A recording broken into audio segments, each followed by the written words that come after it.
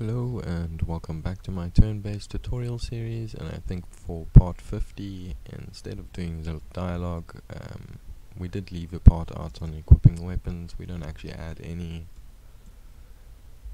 uh, damages or anything like that so let's go over to our equip weapon function and let's pull off of this weapon and get weapon details and then we're gonna need our player damages and we're gonna set it. And we're just gonna split the struct pin and we're gonna set this to something plus something so plus. And this weapon details all we're gonna do is break it. And we're gonna get this damage and add that damage. Okay. Then we need our player damages once again. We're gonna get it. And we're gonna mm, let's rather not split the struct let's break it. And player attack 1 we're gonna set like that. Okay. And we're just gonna repeat this for each one. Okay. So duplicate. I don't know how many we have. It looks like we have a lot so just prepare. Um, I mean obviously we're not going to do uh, we're only going to do the 4 I guess? Yeah we're going to do the 4 okay. So just our main attacks. Uh, we'll just hide that. Sorry I do have a bit of a virus. Uh, not player attack. Sorry is elsewhere. Set it like this.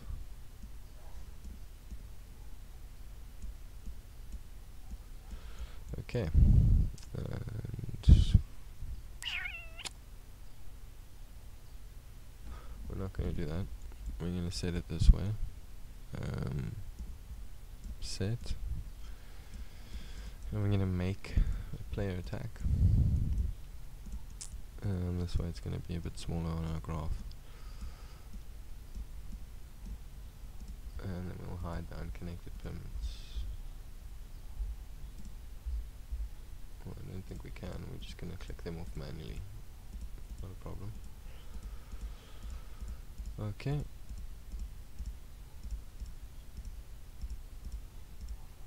So now that we've done that that should add um, the damage of the weapon to our base damage and increase our attack. And it should in turn show the new display and everything like that. Um, we can test this out really quickly. Let's go to our weapon and let's add a base damage of 0.5 I guess.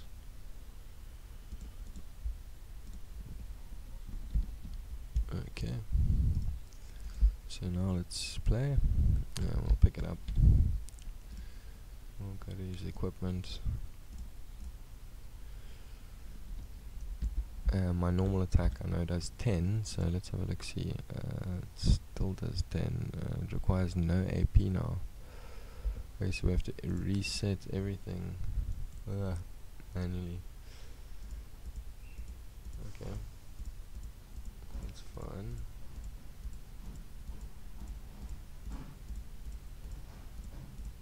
have to do it manually, we can just do it this way. Uh, I'm just going to re-break this. We'll plug that in like such. Okay. And then we're just going to plug all these in so they'll still be set.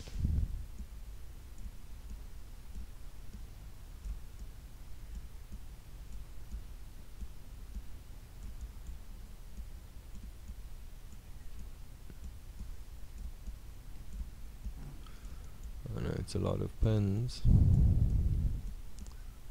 But this is our whole battle system so I guess it should be a lot of pins. Let's see if this works. So we're going to pick it up. We're to equip it.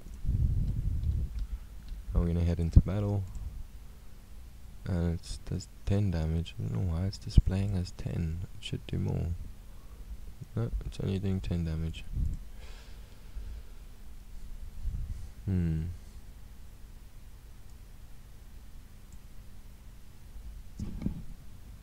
Mm, Maybe, perhaps. I should split this spin.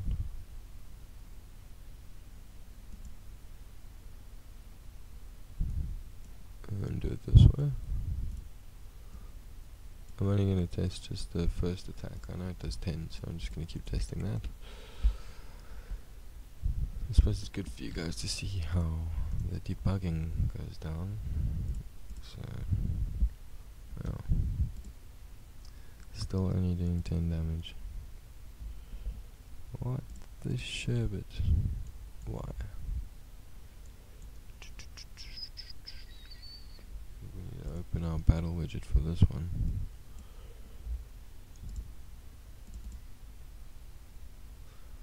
Okay. And let's see how are we displaying this. We're using player attack 1, which is correct. Or for our player damages.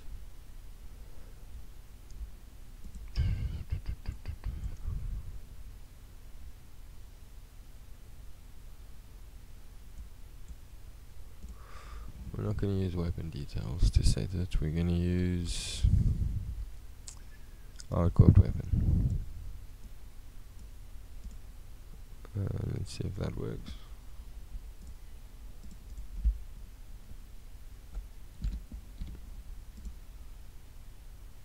Oh, my tiny screen. Yeah, it worked. Okay.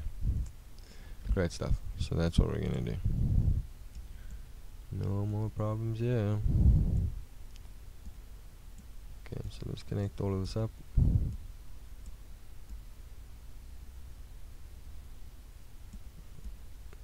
dumb move.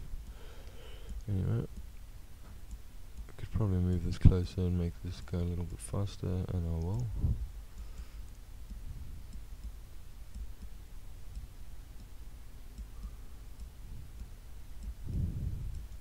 And we just have to redo this for each of our party members, unfortunately. Um, but I'm going to do that now on screen, I guess. So what's the point in not doing it?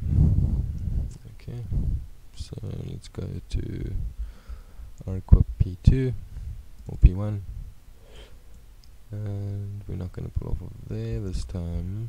We'll be smart about it and use our equip weapon. And we'll get the weapon details or we don't even need to get it we can just simply break it. Right and then we need our P1 damages. We're going to set it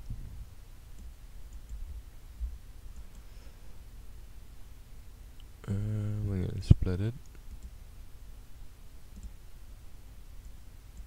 and then we need our P1 damages again uh, this one we're to hide unconnected pins and just set that one. Drag off and say plus float. And we'll set it to there. Uh, and this one will just split again because we are using all of the pins so we'll do it that way. Set them nice and close to each other. And just duplicate this three times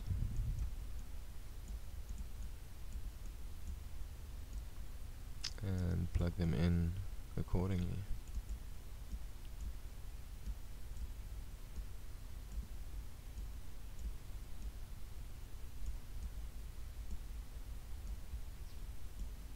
Okay. And then plug in the rest of your pins.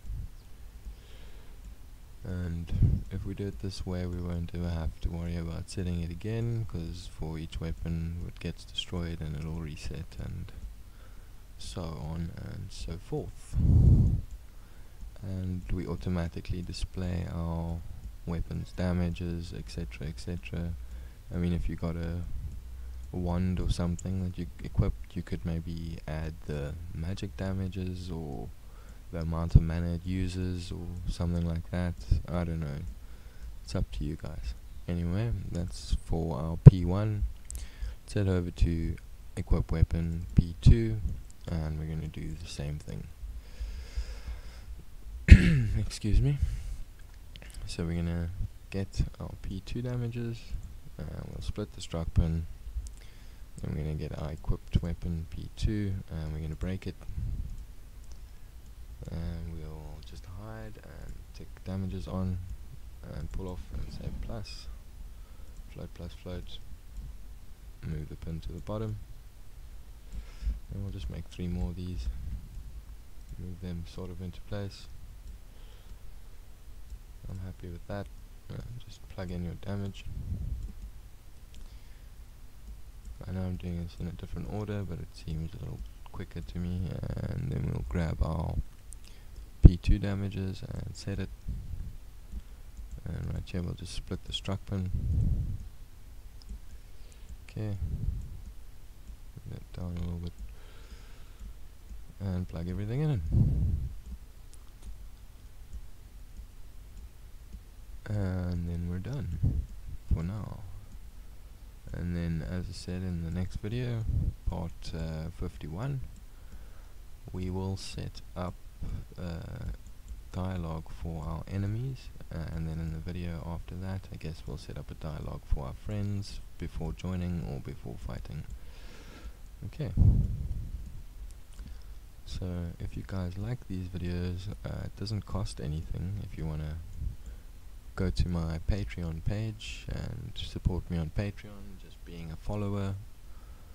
That'll be cool. I'll leave a description in the link below. Anyway, this should work now for everything. Everything should be happy, go lucky. All of our attacks everything's still working and we're doing a lot more damage. That is cool. I should be able to kill him with one attack. Boom, dead. Great stuff. Okay. So thank you very much for watching. Please like and subscribe. And as I said, uh, I'll leave a link to my Patreon page in the description below. Please follow me there as well.